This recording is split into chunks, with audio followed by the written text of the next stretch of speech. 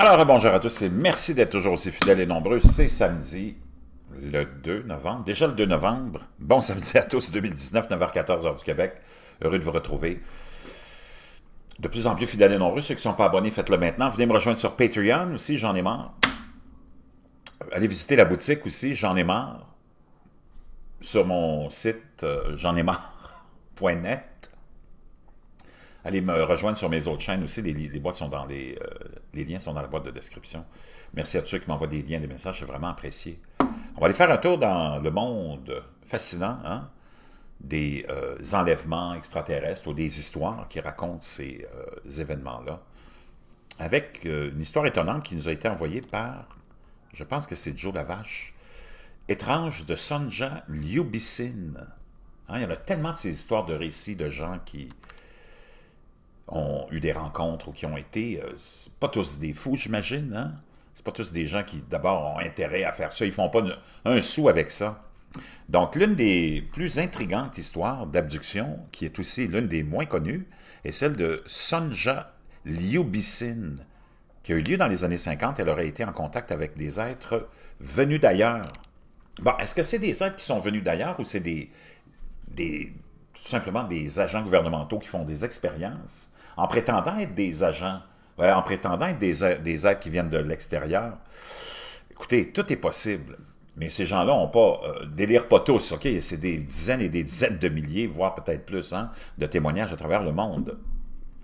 Aussi de ces animaux qui sont retrouvés, hein, sur, lesquels, évidemment, il y a eu des analyses, des tests qui ont été faits. Donc, est-ce que c'est fait par nos semblables, des, euh, hein, des gouvernements euh, et des politiciens vers eux qui veulent découvrir quelque chose ou à faire avancer une science ou des armements, ou ça vient directement de l'extérieur. Voyez, c'est des questions complètement légitimes. C'était une femme qui avait passé, euh, qui avait un passé et une vie bien remplie, pleine de mystères, d'aventures, de plaisirs et d'intrigues.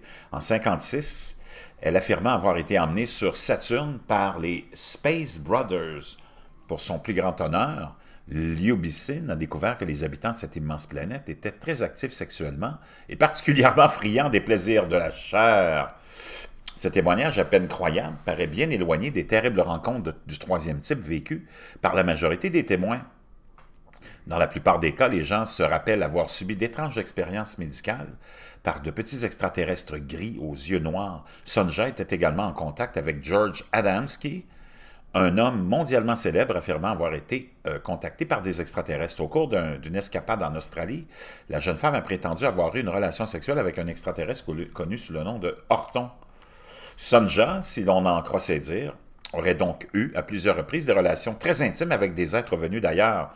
Mais ce n'est pas tout. Liubicin a également affirmé qu'elle avait eu des contacts profonds au sein même du gouvernement américain elle a même raconté qu'elle avait passé du temps à assister à des réunions très secrètes sur les ovnis au White Sands Missile Range, au Nouveau-Mexique. L'histoire de Sonja est-elle vraie? Il convient de noter que l'Australian Security Intelligence Organization a décidé d'ouvrir un dossier sur elle. Ce document confidentiel indiquait un membre du bureau du Queensland Flying Saucer Research extrêmement active lors de la visite de George Adamski, était une jeune femme du nom de Sonja Liubicin, une Australienne naturalisée d'origine yougoslave. Elle résidait auparavant à Ann Street Valley. Cette personne a été évacuée dans la mesure où elle certifiait avoir voyagé à bord de vaisseaux spatiaux vers d'autres planètes le 16 juillet 1959. Imaginez-vous, on est en 59 là. Elle quitte son emploi et voyagea avec un passeport australien, le numéro du passeport étant le K23 5116, délivré le 29 juin 1959 à Brisbane, empruntant, euh, le vol Qantas Flight EM742 de Sydney le 21 juillet 59 et aux États-Unis d'Amérique pour rejoindre George Adamski. L'enquêteur sur les ovnis, euh, Akan Blomqvist, a déclaré à propos de Liubicin qu'elle a continué à vivre en Californie et s'est mariée le 12 juillet 1979 avec William Paul Appleton, elle a ensuite changé de nom pour Sonia Appleton. euh, ils se sont finalement installés à Honolulu, Hawaï, où le mariage a pris fin. Sonia est décédée à Honolulu juste avant son 63e anniversaire, très jeune, le 2 juillet 89. Il convient de noter que la principale raison pour laquelle la SIO avait l'Oubiesine en ligne de mire et se tenait au courant de ses activités était due à ses antécédents, c'est-à-dire qu'elle est née et a vécu jusqu'à 20, 20 ans en Yougoslavie, qui est devenue en 1946 la République populaire fédérale populaire de Yougoslavie, alors que Ljubicin et sa famille ont fui la Yougoslavie en 1947. Certains agents de l'ASIO ont réfléchi à la possibilité qu'elle aurait pu avoir une quelconque affinité pour le communisme. C'était bien sûr pendant la guerre froide, une période au cours de laquelle pratiquement tous ceux qui menaient un mode de vie alternatif étaient considérés par les politiciens comme de potentiels agents à la solde des régimes communistes. C'est un fait indéniable que les services de renseignement australiens se sont assurés de savoir où et quand Sonja était parti et pourquoi, à quel point cette surveillance a-t-elle été effectuée?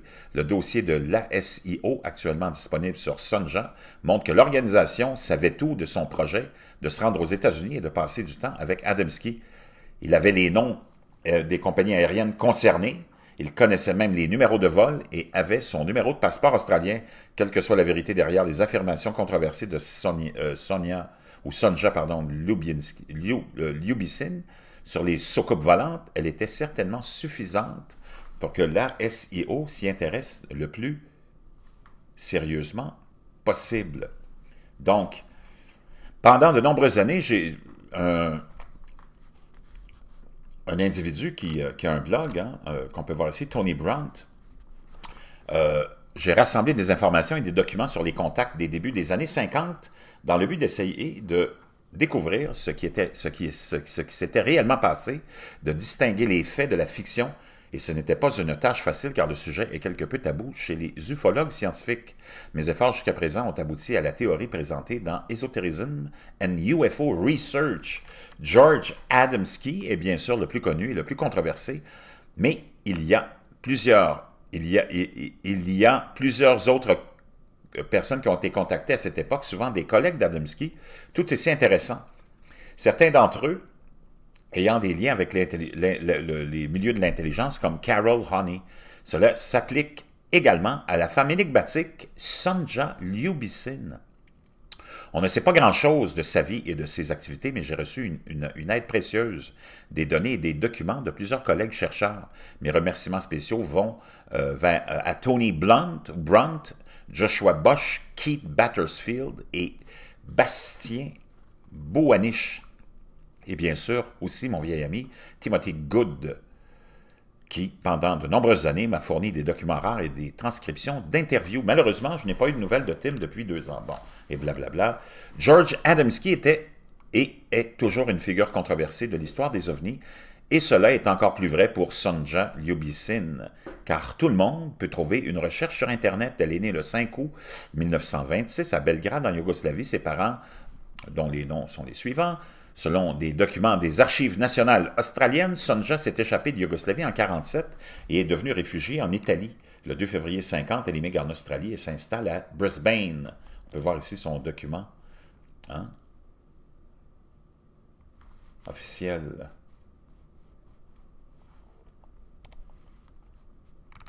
Dans les années 50, elle s'associe avec des groupes d'OVNI en Australie et commença à correspondre avec George Adamski, qui lui demanda de travailler en tant que collègue et représentant de l'IGAP pour l'Australie, l'International Get Acquainted Program.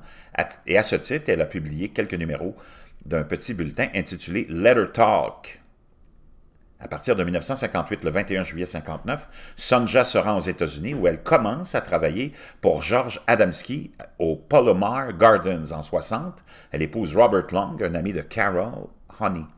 Elle a également demandé une carte de sécurité sociale aux États-Unis sous le nom de Sonja Long. En 1961, elle met fin à sa coopération avec Adamski. Sonja continue à vivre en Californie et s'est mariée le 12 juillet avec euh, M. Appleton, comme on l'a vu plus tôt. Ceci est un bref résumé de la vie officielle de Sonja, le nom que je vais utiliser dans ce blog. Mais sa vie avait aussi un aspect très différent. Bien que beaucoup de ses revendications soient fantastiques, elle n'était pas une chercheuse en publicité et n'a jamais annoncé publiquement qu'elle était une personne euh, qui avait été contactée. À son amie Brenda euh, Infilar, Auckland, Nouvelle-Zélande, en Nouvelle-Zélande, Sonja a raconté son enfance et sa fuite de la Yougoslavie. Brenda euh, a rappelé que Sonia, ou Sonja, avait déclaré s'être échappée de la Yougoslavie pendant ou après la prise de contrôle par les communistes. Elle aurait été transportée par avion dans un engin. Euh, elle a dit qu'elle avait reconnu plus tard, d'après la photographie d'artisanat d'Adamski, que c'était les personnages qui l'avaient aidé, d'où son intérêt et son soutien pour Adamski. Elle a affirmé que la personne de contact d'Adamski, Horton, lui avait rendu visite à Brisbane, apparemment appelé dans son appartement de manière surprenante. Cela euh, semble avoir été confirmé par Adamski. On voit ici George Adamski en 1959. Comme le montre une recherche sur Internet, Ray Stanford et Laura Mundo ont affirmé que Sonja avait également des relations sexuelles avec Horton et d'autres personnes dans l'espace à Brisbane. Je suppose que cette rumeur pourrait trouver une explication plus matérielle chez un jeune Roméo plein de ressources qui a découvert que prétendre être un astronaute secret dans les cercles des contactés était une excellente stratégie de rencontre. un contacté suédois utilisé une tactique de datation similaire en convainquant ses euh, suiveuses qu'elles étaient des femmes de l'espace. Évidemment, cela a très très bien fonctionné pour avoir naturellement des relations sexuelles. Dans son article de 1998 sur Memories of George Adamski, l'ufologue Roy Russell Brisbane, euh, de Brisbane fait également quelques commentaires sur Sonja Lyubisin. J'ai mentionné Sonja qui vivait à Brisbane, où elle affirmait avoir rencontré Horton Sonja dans les années 50, avait beaucoup de correspondance avec Adamski, qui dans une lettre lui demandait de cesser de penser aux gens de l'espace pour que sa vie ne soit pas faussée. Dans une correspondance ultérieure, GA a confirmé que Sonja avait effectivement rencontré Horton. C'est elle qui a demandé à Adamski de commencer le programme Get Acquainted en Australie. Sonja était la personne la plus inhabituelle et la plus télépathique euh, euh, que ma femme Pearl et moi avions jamais rencontrée. Et ce jour-là, euh, marchant avec Georges, il s'est retourné vers moi et, pour paraphraser, a déclaré avec un soupçon de perplexité animée Sonja, décidément, je ne sais pas qui elle est. Le chercheur australien sur les ovnis Keith euh, Battersfield m'a aimablement fourni des copies de documents des Archives nationales d'Australie concernant Sonja Lyubisin dans un dossier appartenant à l'Agence australienne de renseignement de sécurité sur le Bureau de recherche sur les soucoupes volantes de Queensland. Il y a une brève note à propos de Sonja qui croyait avoir voyagé dans des vaisseaux spatiaux vers d'autres planètes. Que ce soit une rumeur dans le groupe du Queensland ou revendiquée par Sonja elle-même, n'est pas expliquée on peut voir le document ici en question. À l'été de 1959, Sonja partit pour l'Amérique, occupait un poste de secrétariat pour George Adamski. Elle était apparemment l'une des premières en 61 à avoir remarqué certains signes inquiétants dans le comportement et les allégations d'Adamski, qui s'est ensuite aggravé avec le controversé voyage de Saturne et l'affaire de la boîte aux lettres de Glendale. Donc, il y a vraiment il y a beaucoup de questionnements sur toutes ces théories-là, hein, de ces gens-là. Euh, est-ce que, bon, il y a beaucoup de ces gens-là qui ont profité de leur notoriété pour naturellement euh, avoir des relations sexuelles avec des femmes, j'imagine, naïves, mais est-ce que tout ça est relié à ça? On semble s'en aller vers euh, cette conclusion-là. Mais on dit vraiment que c'était une femme énigmatique. Hein? on s'intéresse naturellement aux ovnis. On est dans les années 50. Et franchement, pour conclure là-dessus, puis je vous laisserai les liens de ces euh, histoires-là, euh,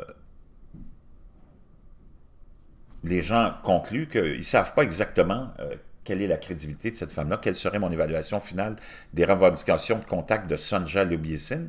Je n'ai vraiment pas de réponse définitive. Pour être plus, peut-être que plus de données pourraient résoudre l'énigme de sa vie, Sonja était soit une personnalité amoureuse et fortement fantasmatique, sautant sur le train des contacts, des contactés des années 50, hein, les gens qui prétendaient avoir eu des contacts, soit une femme à la mission secrète impliquant des visiteurs extraterrestres. Donc, c'est vraiment une femme énigmatique qui a laissé beaucoup de gens euh, hein, euh, encore dans, dans le mystère. Puis il y en a plein d'histoires comme ça, mais on remonte aux années 50. Là, on est dans les années 50. Puis tu as toutes ces, ces histoires-là qui se passent, toutes ces péripéties. C'est quand même assez... C'est un milieu qui est vraiment euh, très fascinant. Et je ne sais pas ce que vous en pensez, mais c'est certain que ça a une base quelque part. Hein? C'est depuis des centaines, voire des milliers d'années que on pense avoir eu déjà des contacts, hein, et que les contacts sont déjà établis. Puis quand tu vois des histoires comme ça, vraiment, wow, tout est possible. On parle des années 50, là. C'est ça qu'il faut retenir. Et qu'il y a tout ça que je viens de vous raconter qui se trame, puis qu'il y a déjà plein de, liens, puis d'organismes, hein, euh, d'organisations qui sont créées, reliées à toutes ces rencontres. Vraiment très intéressant. Merci à Joe, puis moi je suis allé faire la recherche, puis j'ai trouvé ça le blog de Hakan Blomvisk. Je vous reviens.